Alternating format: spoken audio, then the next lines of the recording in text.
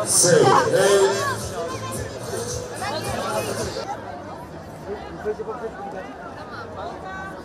İlk defa geldik, Ünye'den geldik. Ee, gerçi ben takip ediyorum kendimde e, şey olduğu için. Yani nereye geldiğimizi canlı örnekleriyle görmek tabii tabii başka bambaşka bir duygu. Hakikaten gurur, gurur duyduk. Ee, İlk uçan aracı biliyorum, biliyorum. Yani yakından incelediniz. Nasıl buldunuz? çok güzel, çok güzel.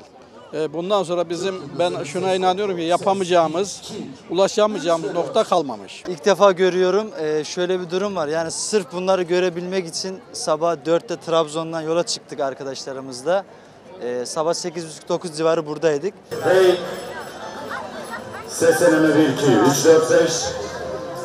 Bu sıcak altında gelmiş bunları inceliyoruz ama gerçekten bu sıcağa rağmen değer yani. Gelmeyenler çok şey kaybettiğini düşünüyorum.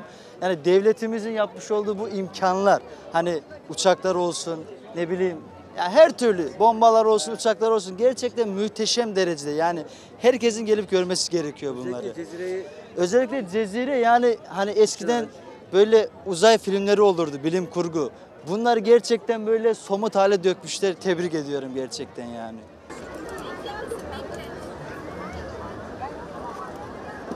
Gerçekten gurur verici. Daha önce İstanbul'daki e, fuara katılmıştım. Trabzon'dan arkadaşlarla sabah beraber buraya geldik. E, mühendislerimizin gerçekten emeklerini, azimlerini e, görmek için buradayız.